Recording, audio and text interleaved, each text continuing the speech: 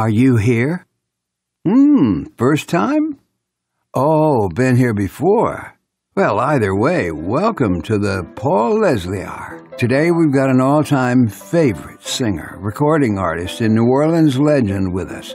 Yes, Clarence the Frogman Henry is here, making his third appearance on the Paul Leslie Hour. I guess you can tell Paul really loves the Frogman. And there's good reason. Just listen to Frogman's great songs. Ain't Got No Home? I don't know why I love you, but I do. And oh yeah, you always hurt the one you love. We're definitely honored to welcome Clarence, the Frogman Henry, back again on this episode. The frog's going to be reminiscing about his pal, Jimmy Buffett, about the late Fats Domino, and oh yeah, his upcoming appearance at the New Orleans Jazz and Heritage Festival. Clarence the Frogman Henry will be at the Blues Tent on Friday, April 28th. We'll see you there, okay? For sure. Hey, we'd sure appreciate it if you'd subscribe to the Paul Leslie Hour on YouTube and also like us on Facebook. We like you on Facebook. You can help us a lot as we push into our 20th year this fall. Wonder if Paul is ready. he looks ready. He's got that look in his eye. All he's got to do is start talking. Hey, take over, Paul, baby. Speak. Well, ladies and gentlemen, it's always a pleasure and an honor when you're in the company of a legend. And right now, for the third time, I'm speaking with one of, I think, the greatest recording artists in American music. I'm talking about Clarence Frogman Henry. Mr. Henry, how are you, sir?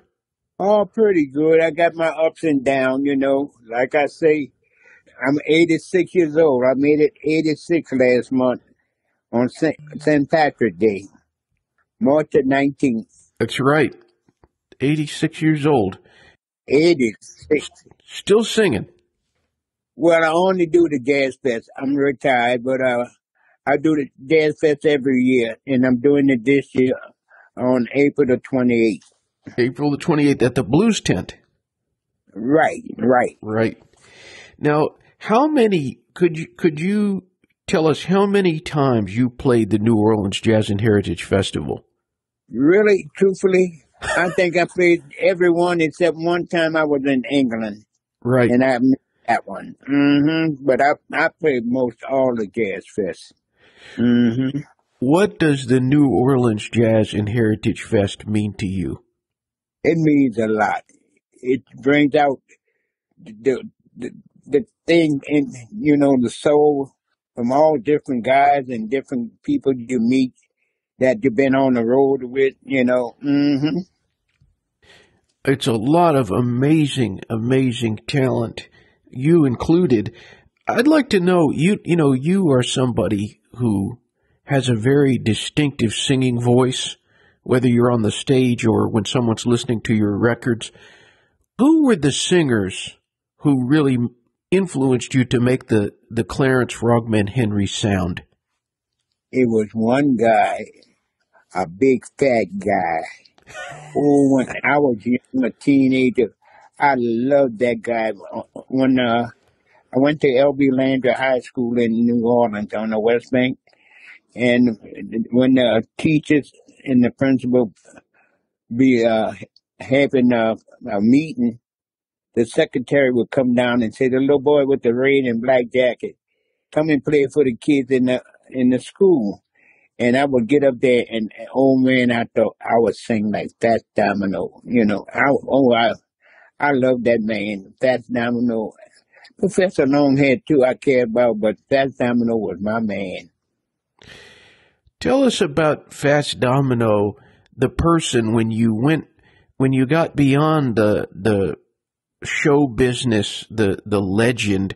When I was at his house, this was years and years ago, as, most of the people listening know, he has since passed away. God rest his soul. But I told him that I'd been by your house, and Fats Domino's face just lit up. He said, How's the frog doing? Who was Fats Domino? He was a great guy. He, you know one thing about Fats Domino? He was a true guy. He didn't kiss. And Frogman doesn't kiss. you know, you gotta respect him and he respect you, you know. And in New Orleans, he was Fats Domino, but they wanted him to kiss, but he didn't kiss. And and when he died, everything is Fats Domino. They even named a street behind him, you know, the street where he lived at. You know, Fats Domino, Antoine Domino. I went to his house and he'd sit there and he played song for me. And one time he said, I ain't playing no more because you take my song, you know. but I love that man. When I went to Jamaica for the first time, when I came back, I bought him some rum when he was playing the Apollo Theater. Yeah, and I, everywhere he was, even when he, we was on Bourbon Street, he was playing at Al Hirt Club, and I had played at the 544. I would go down there and see him, you know. hmm Now, when you said he, he, he doesn't kiss, what do you mean by that? You know, a lot of people want to, you know, to kiss them, you know, take take what they, you know, they abuse a, a lot of entertainers in New Orleans. Right. Like the guy that don't do what they say or do like they want them to do, you know, you don't hear about them, you know. And the one that that you know kiss, oh you oh that that yeah yeah yeah you, you can hear about them all the time, you know. Uh-huh. Mm. I see. Do you have a favorite Fats Domino song? Blueberry Hill, Great. Great yeah, song. Blueberry Hill.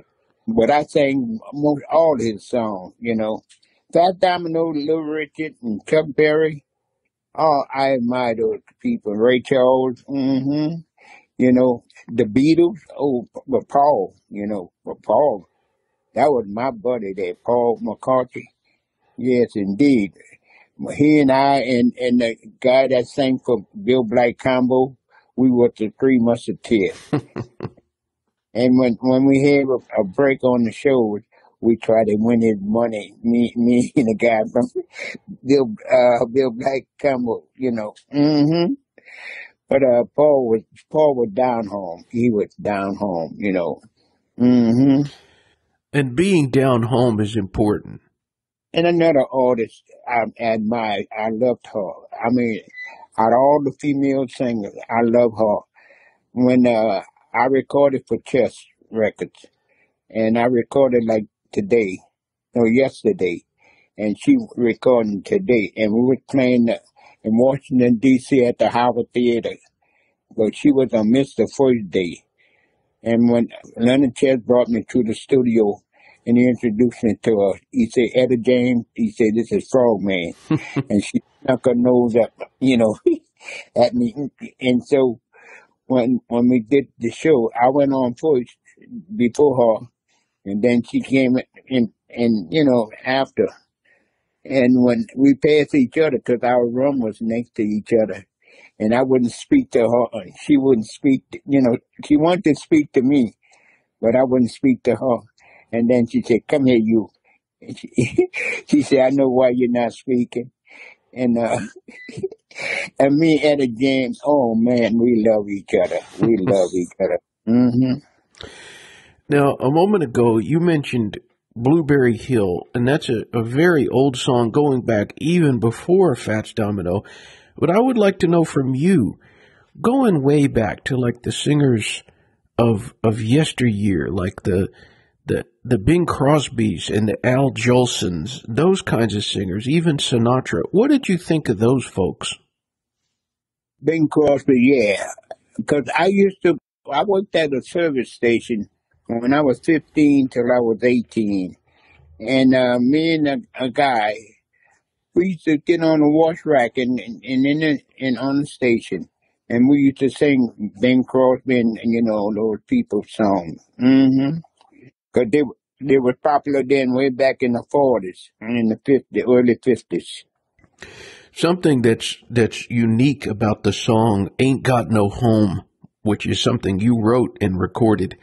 That song has a lot of life to it.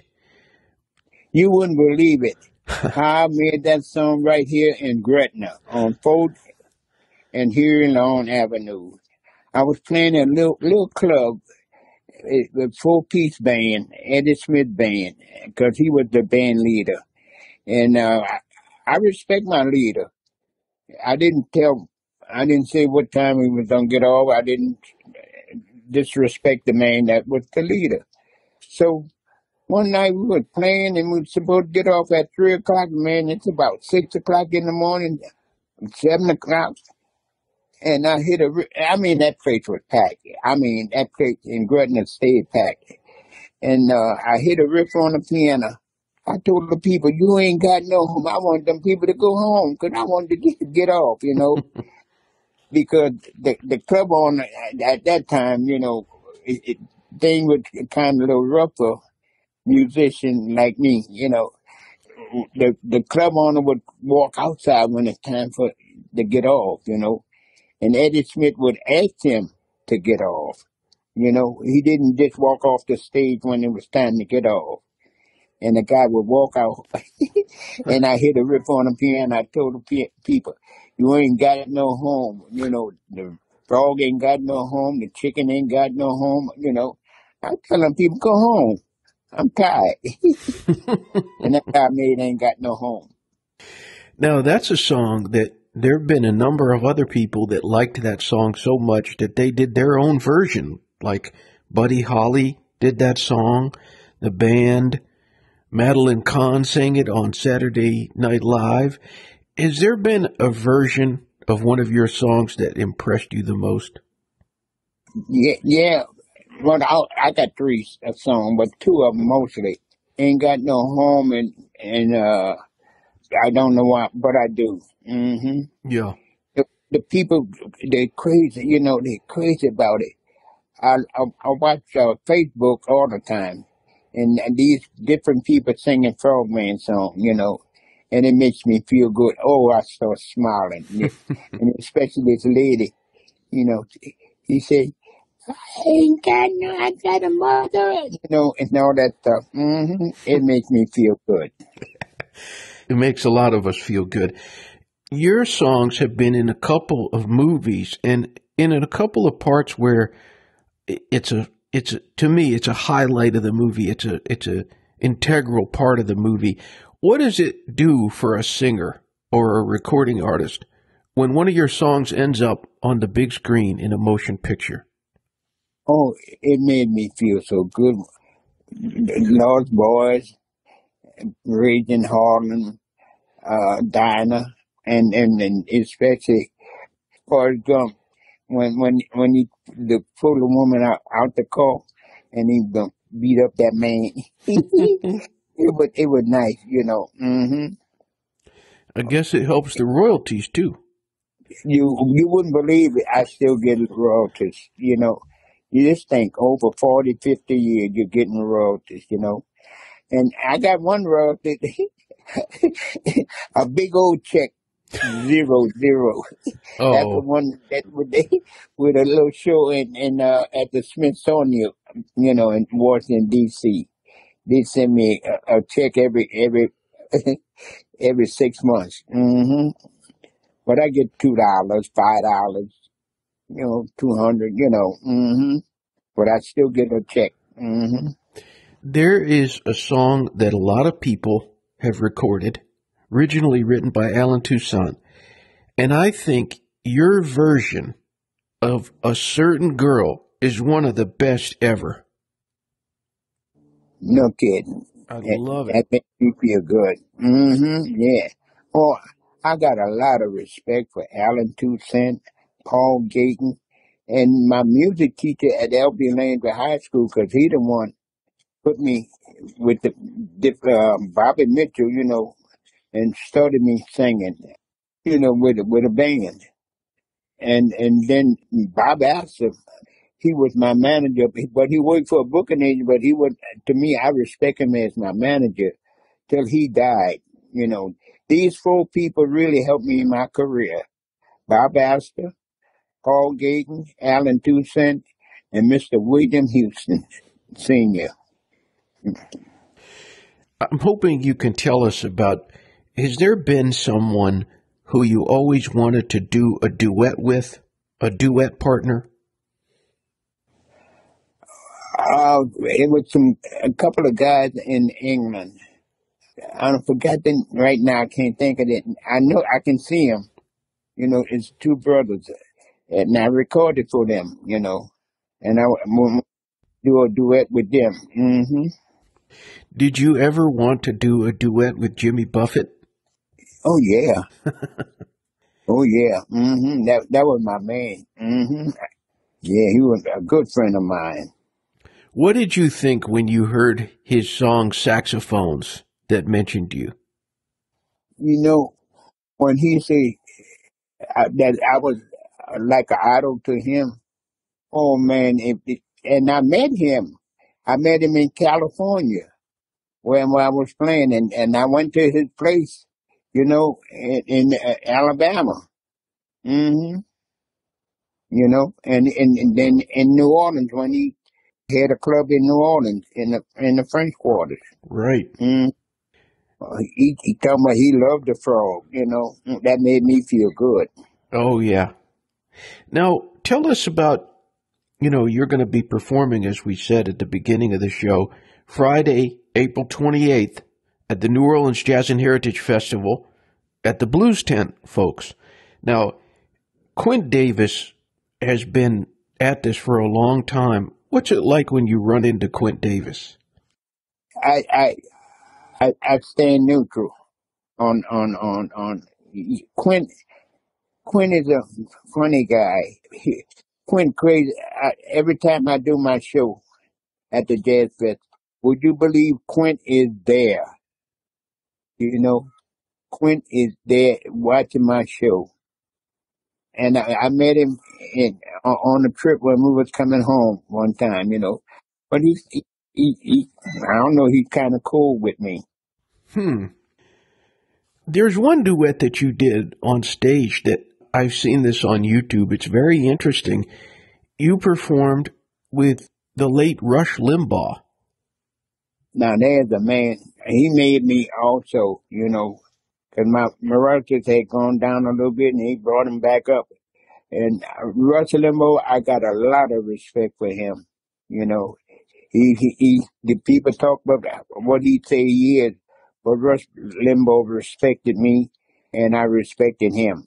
You know, Rush Limbaugh lost a lot of jobs before he became a real Rush Limbaugh. I heard about, you know, different things that he didn't make it. And when he got with me and then he started saying different things, that, that's when Russ got very popular, you know. But Russ Limbaugh is a hundred with me and he responsible, you know, for my career also, you know. hmm What was he like when you were just around him face to face? Would you believe he, like he would pay me like a, whatever my salary was, I asked for, Russ Limbaugh gave me $200 extra. That's nice. Would you believe that Russell Limbaugh in California sent me some kind of liquor that I had never had, high class liquor, you know what I mean? Russell Limbaugh had a lot of respect for me, you know. That's man, he was down home. I got a lot of respect for Russell Limbaugh. Have you received a compliment through your many years in the music business that has meant the most to you? I re- receive a lot of compliments from different artists, different people, and it makes me feel good. And and when I look at Facebook and see all these people singing my song and talking good things about me, it makes me feel good. You know, I feel like I'm on top. You know, and the only thing that hurt me, you know, I don't know if I should say it, but the people that I went all out for, to disappoint me. Hmm. But I right now, I'm I'm disabled that I can't walk. You know, I need a, a wheelchair and a and walker, and it, it's it's it's uh, four people that came and rescued me. Was a lady named Patricia Thomas, and a homeless guy named Devin Livingston, and my daughter from uh, Nashville, Wanda Wright. Her mama was Roberta Wright. That was oh the best wife I ever had. And also my nephew Leroy, I call him Pookie Charles. hmm And uh, lady, a lady Bill, I, I thought was in my corner, you know. But these four people, they really stuck with me. It, and it's not all about a dollar. Hmm. Right. A lot of people want, you know, they do things for you for money, but not these four people. You know, Leroy, Patricia, Devin, and, and Wanda, you know, no money. But like I say, there's a God above, and I love God, you know, and I believe in God. Just like my house. I got a lady coming today for the storm. Half of my house was destroyed. I mean, it, the, the clothes on the rack, hanging on the rack, came down on the floor. The, my house was destroyed, the roof and thing. And this lady came over and called somebody on the radio. And you would you believe, whoever fixed my house, I don't know who did it, but I, I'm on a high, you know. There was a lot of stuff that was missing, but anyway, my house was well fixed back together. hmm And I think this lady, she on her way over here. She'll be here by one o'clock today. What would you say, Frogman, to any of your fans that are tuning in here? What I'll say to my fans, I love all my fans. I'm, you know, I'm true to my fans. You know, I'm not, I'm not a phony. You know, I'm for real. I love my people. I love to entertain people. and it did me a lot. And I had a good life. I had a good, tremendous life. I've been all over the world. I met a lot of people. I met in different countries like New Zealand and Sweden. I love those two countries. Oh, oh, but I love those people. They love me. They showed me, you know. I went in England, and Germany, and different ones, you know, but Sweden and New Zealand, those are my two countries. Well, hello to everyone from those countries who's tuned in with us. And Frogman, Mr. Clarence Frogman Henry, thank you so much for spending time with us. It's always an honor, a pleasure to talk to you. It's a pleasure, great pleasure. And I enjoy my, and I, to my folk and my people and my fans, I love you. And I, I'm 86 years old. I don't know how long I got no, to live, but I thank everybody for buying my record and telling your friends about it and your family. And if you want a picture, this all you got to do is 3309 Lawrence Street, New Orleans, Louisiana 70114, and I'll send you pictures. Very nice, very, very classy move. Thank you. Thank you. Thank you very much. All right, sir. God bless. Bye bye. Until next time. Bye. Thank you. Bye bye. Thank you for stopping by today. If you enjoyed our program, consider telling a friend about it. The Paul Leslie Hour is made possible through people just like you. So you want to keep the show going, right? Go to thepaulleslie.com. That's thepaulleslie.com. Click on Support the Show. And thanks to everyone who contributes. Performance of the intro music is courtesy of John Primorano, The Entertainer, written by Scott Joplin. End credit theme music is courtesy of John Primorano, the traditional song Corina Corina. Your announcer is Dan Gold. Hey, that's me. The show is hosted and produced by Paul Leslie. And we'll see you next time on the Paul Leslie Hour.